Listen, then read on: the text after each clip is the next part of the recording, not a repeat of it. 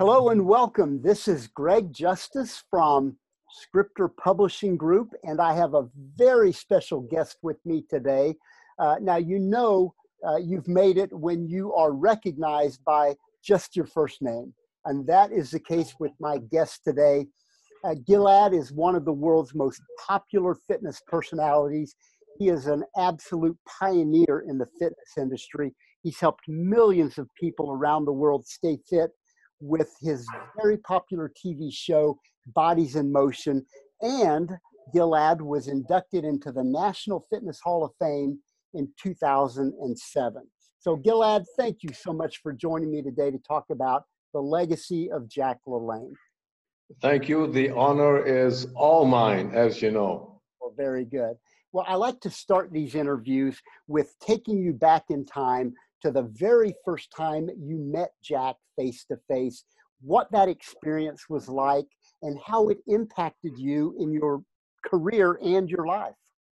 Absolutely. Um, back in 1981, for me, when I first got to Hawaii, uh, there was some friends of mine and myself. We we talked about possibly uh, starting some type of a local fitness show it was a far-fetched dream that we sort of uh, thought, well, if we'll be able to pull this off the ground, it'll be really something else. But we really thought only of a local small market, Hawaii, which you know it is a small market. One of the ideas was, uh, why don't we go out to LA and apply to the Jack LaLanne show and see if, because it, he was still filming his show back then and see if he would be kind enough to have me. I've had a fairly decent reputation as a fitness instructor in, in Los Angeles and in Hawaii. And uh, the idea was to have, uh, get on his show so I could get some exposure mm-hmm. and see what it's like to be on a television because I've never done television before. I've never even had a second of TV before that. So we contacted the Jack LaLanne show, and uh, they actually said, yes, please come by. If you can come to LA, uh, we will have you as a guest on the show. So I collected uh, my, my last few dimes and decided to go to Los Angeles back in, I, I think it was 1982 uh, that we did that, beginning of 82. Mm-hmm. And uh, I went, of course, to the studios, and Jack met me in person, I did a little segment on his show, and one of the things I still remember today that he told me, he says, "Listen, young man," he says, "you're going to have your own show someday." And he didn't even know that I was planning on, you know, doing that or had the idea of doing it or anything of that sort. And uh, I just found that because you know Jack LaLanne, we all back in the day there were no uh, there were no big fitness. Everything was Jack LaLanne right. European health spas and, and all that. There were not, it's not like what it is today. So Jack LaLanne's name carried a big weight. And, you know, just the, the, the fact that I got to meet him and Elaine, I met Elaine as well at the time. Mm-hmm. Uh, and I, I was just thrilled. I said, wow, this is really great. And this guy, you know, who's a legend, really liked what I did. And we kind of exercised together on the show. And I came back uh, to Hawaii with a backpack full of inspiration uh, from the man himself, from the legend himself. So that kind of said, I said, wow, you know, if if a guy like Jack really, uh, you know, thought I could do something with with, with fitness, then I, uh, you know, it, it, gave me a lot of inspiration. Right. Let's put it that way. And that was 1982, right? 1982. And then your show, because his show ended in 1984, I believe. Is that correct?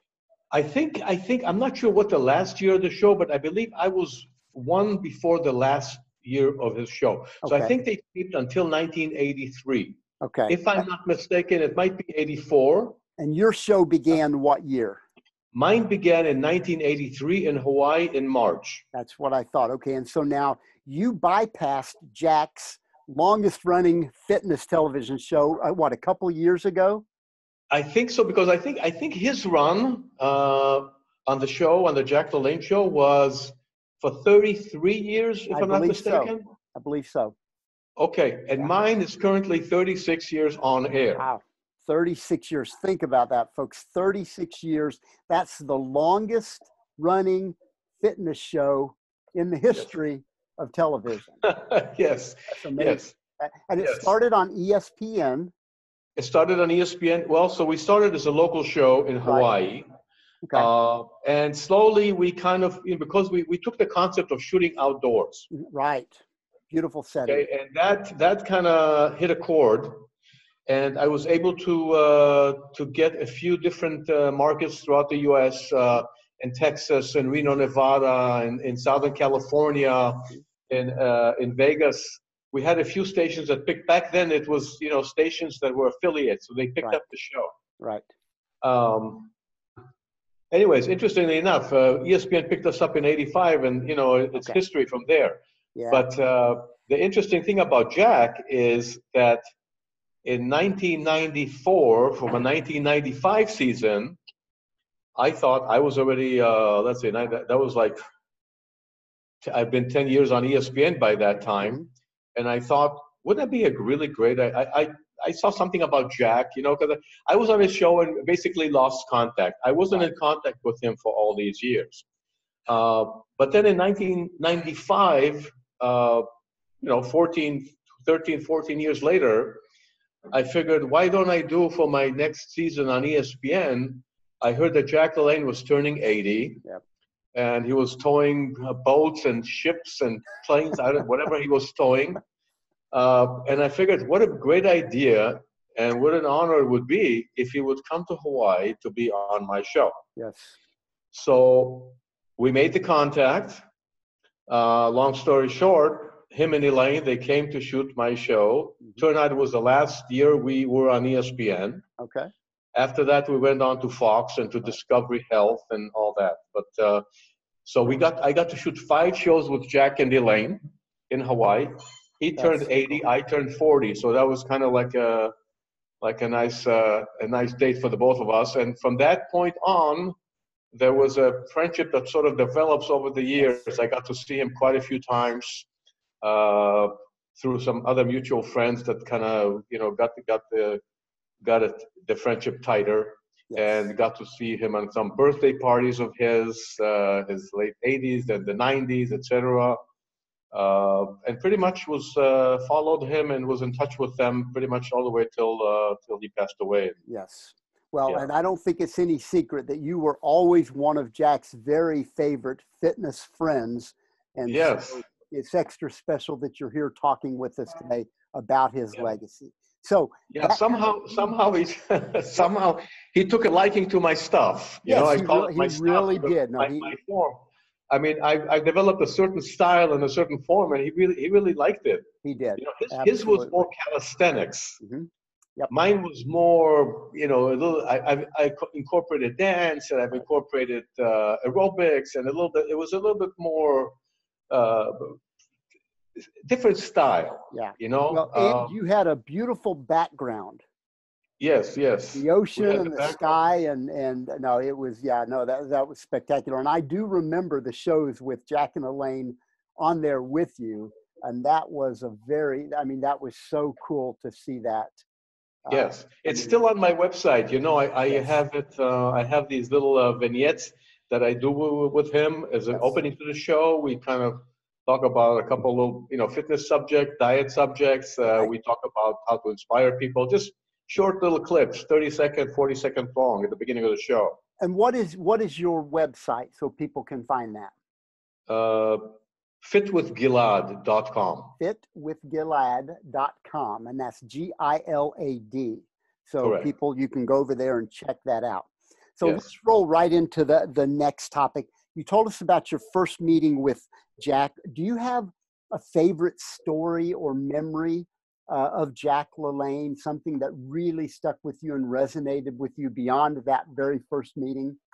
Yes. Well, besides all the good stuff, which is you know, there's plenty of right, right. plenty of fine uh, memories there. But mm-hmm. the one the one fun memory I had was on the shoot that he did with me uh-huh. uh, in Hawaii, because understand, he was 80 at the time. Uh, I was 40. And I wanted to incorporate him in a way that made him look as best as I could make him look on the show because he wasn't familiar with my routines. Right. So we said to him when he came to Hawaii, he shot five shows with me. Mm-hmm. I said, why don't I use you, Jack, in the warm up, and then we'll use you during the strength segment because then you can show us, you know, push ups and sit ups and squats and things that you know and you're familiar with, and it's fun for you to do. And you won't have to do the dance part with me on the cardio and the aerobics. All right. Well, I end up after every show, I go into the truck and I sit there with the director and I look at the show and we discuss, okay, this was good, this was bad, should we shoot this again, should not?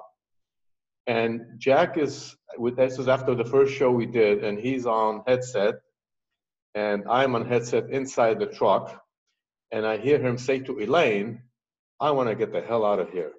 This guy isn't using me in any of the shows. He's not giving me exposure.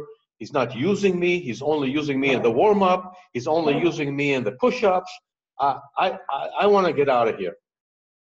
And Elaine says to him, Jack, relax. He's doing fine. You're doing great. He's using you where you're strong. He knows what he's doing. Calm down. And then I come out of the truck because I got concerned. I wanted to talk to him. And he was sitting like, you know, 30 feet away from the production truck under an umbrella with Elaine. And as soon as I show up, he goes, Hey, Gilad, how are you doing? I said, Jack, are you having a good time on the show? And he goes, Oh, absolutely fantastic. it's those hot mics that get you every time. That's right. That's a funny story. I love that. That is so funny. Well, well, let me ask you this as we transition to the, the legacy phase of the interview. In your opinion, when, when you think about Jack LaLanne, what do you feel like his legacy is, not just inside the industry, the fitness industry, but the industry and beyond that to the world? What is Jack LaLanne's well, legacy? Yes, I think that besides, uh, you know, besides the, the, the legacy that he left with fitness, with his name in fitness, with the, with the fitness studios and, and, and clubs that he developed, and the, all the different products that we're all familiar with, all the way down to the Jack LaLanne juicer. Mm-hmm. But I think that the, for, to me, as, as a fitness person who's involved with the public and you know the main thing is the encouragement that he gave to the average Joe uh, at home through his TV show, through his personality.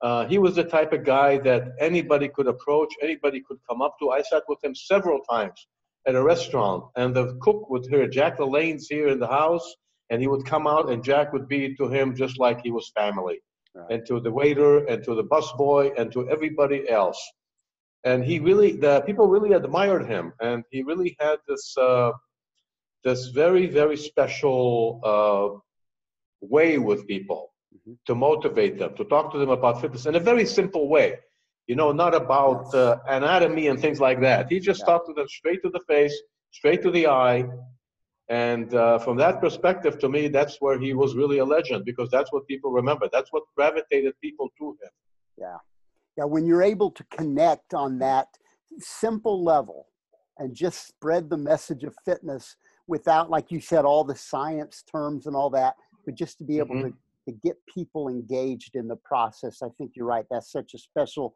gift that he had. Yes. That kind of leads to the next question. If you were to sum up Jack LaLanne in three words, what three words best describe Jack LaLanne and why? Okay, uh, first of all, uh, inspiring. One is because of his personal story uh, that you know, uh, mm-hmm. how he developed from a you know sick child into a bodybuilder, and uh, and his commitment to fitness throughout his whole life, the thousands and thousands of people, millions of people that he's affected. Yep. That's I think you know it's difficult to talk about Jack in this way because he he, he basically planted the seed of fitness the way it exploded today.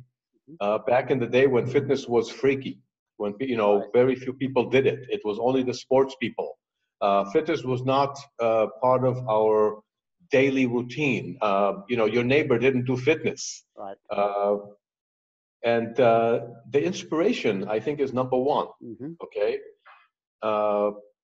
The, another thing that that kind of really is, is his genuine his genuine need and, and and and wanting to help people And I think that's the second thing that I would say about Jack. And the third, his availability. And when I say availability, I mean the fact that anybody and everybody could come up to him, no matter where he was sitting, at what time, and talk to him about health, fitness, and he was always available for people. Mm-hmm. Those are very good. Inspiring, his genuine want to help people, and his mm-hmm. availability, that inclusiveness yeah. to bring. Yeah, he's willing, he was willing to talk to anybody, right? Anytime, anywhere. Yes, and that's a kind of a common theme that I've heard throughout this series of interviews is how inclusive he was for everybody and the ability to again connect with whether you were a professional athlete, whether you were a Hollywood celebrity or just regular Joe off the street. He yeah, I mean, you know, it's interesting because when he was shooting the shows with me, and like I said, he turned 80 at the time. Mm-hmm. Uh, we were at the gym, and we would, he was showing some pull-ups and push-ups, and he's he had all the young kids. They all knew him. Mm-hmm. You know, kids right. in their twenties. Yeah. They they knew exactly who he was. They they were they were like amazed to see him. They were like, "Wow, there's Jack LaVey." well, and that's part. That's the mission behind this project that Elaine and I are doing with the book and this series of interviews is to introduce Jack to the whole next generation of not just trainers but to the world. So Yes. Well, and it's a, I'll tell you, it's a blessed job because today, especially in today's world, what I find today, you know, at, at my age, I mean, I'm still sort of in the middle there between, you know, young and old, Right. but uh, young and younger, I should say. Uh, but the, the, today's world, it's people don't know as much about what happened 20, 30 years ago. They think that the world just started today. Mm-hmm. Uh, and everything that they get is strictly through internet and through uh, social media. So, right. I mean, I grew up knowing about Jack LaLanne. I knew about uh, Paul Bragg. I knew about uh, George Atlas. I about Atlas. I knew about you. You name it. I knew, right? Just because I knew. Everybody knew. Now you really have to make an effort to educate, especially the younger people, because everybody is very niche. They know about their subject, but not about a lot of other subjects. And I think that what you guys are doing is awesome because it really will help, you know, uh, not to mention everything that he stands for, which is inspiration and all that other, but just the fact that to involve young people and to know a little bit about how this all developed.